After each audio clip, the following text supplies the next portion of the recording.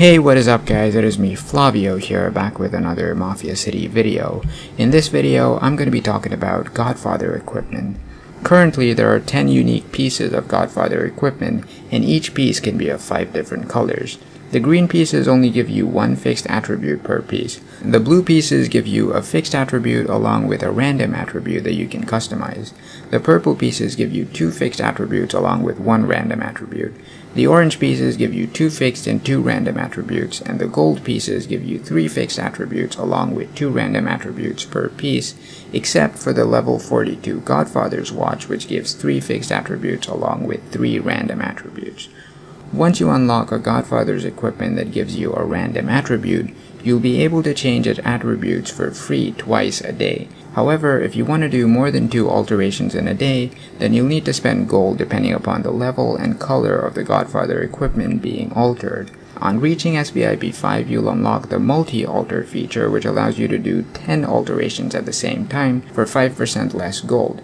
This is a very useful feature if you're planning to spend a lot of gold to get better stats on your equipment.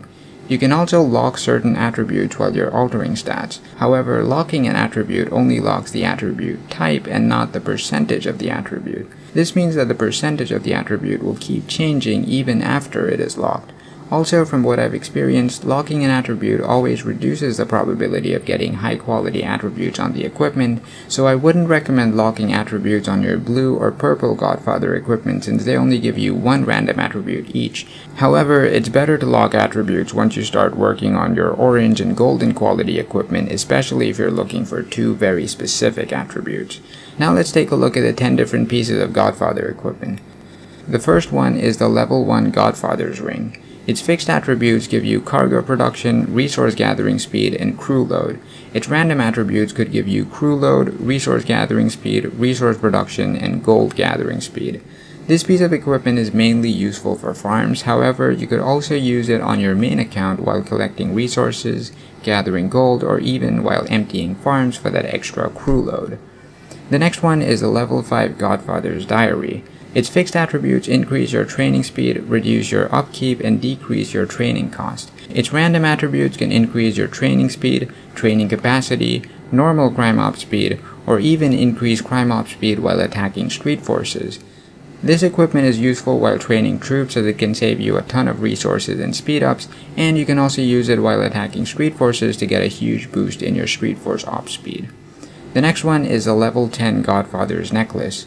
Its fixed attributes increase your healing speed, wounded capacity, and reduce your healing cost. Its random attributes could give you more healing speed, wounded capacity, resource production, and vault capacity. The necklace is very useful during City Royale or any other event where you have to heal a lot of troops. It can also be used to temporarily increase your hospital capacity if you plan on defending an attack from a stronger player. The next one is the level 15 Godfather's Scarf.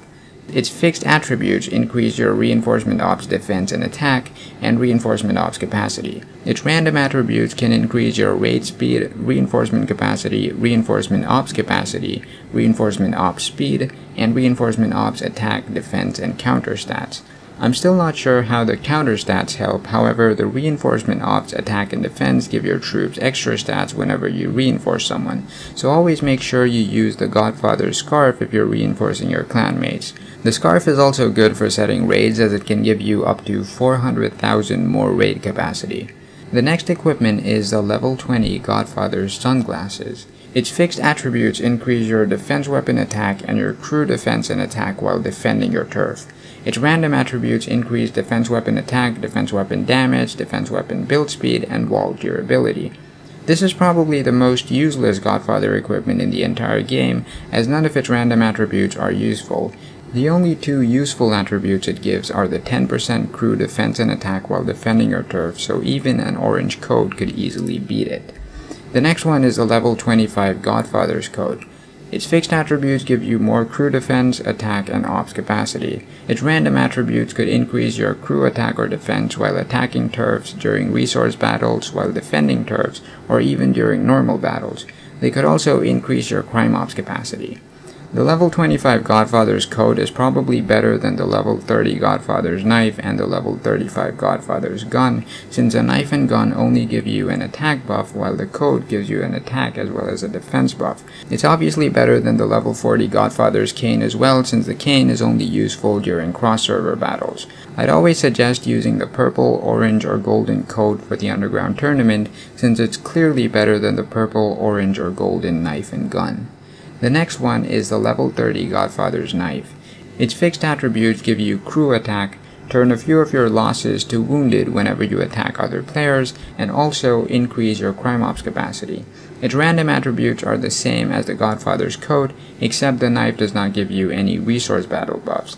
I'd suggest using the knife while attacking other players' turfs to reduce your losses. Then you have the level 35 Godfather's gun which is very similar to the knife.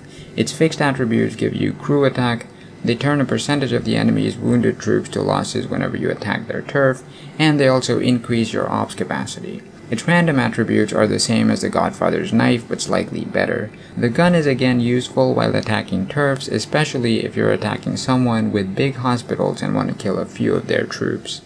Then we have the level 40 Godfather's Cane, which is mainly for cross-server events. Its fixed attributes give you more crime ops capacity, raid capacity, and crew defense all during cross-server battles only.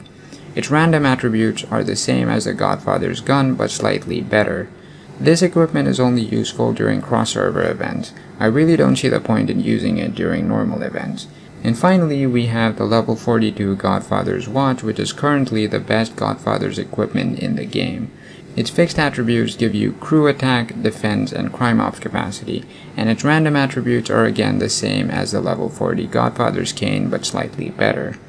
The watch can be used for literally anything. You can use it for the tournament, during cross-server events, or even while attacking turfs. It's like an enhanced version of the Godfather's coat with an extra random attribute slot. So that's all I had to talk about Godfather's equipment in this video. Before I end this video, I'd like to give a shout out to Teflon from City 126 for sharing screenshots of higher level Godfather's equipment. Also, I'd like to thank all of my patrons for supporting me. If you want to support me, there's a link to my Patreon in the description below. So that's all I had for you guys in this video. I hope you guys found this video helpful. Thanks for watching the video guys, and I will see y'all in the next one.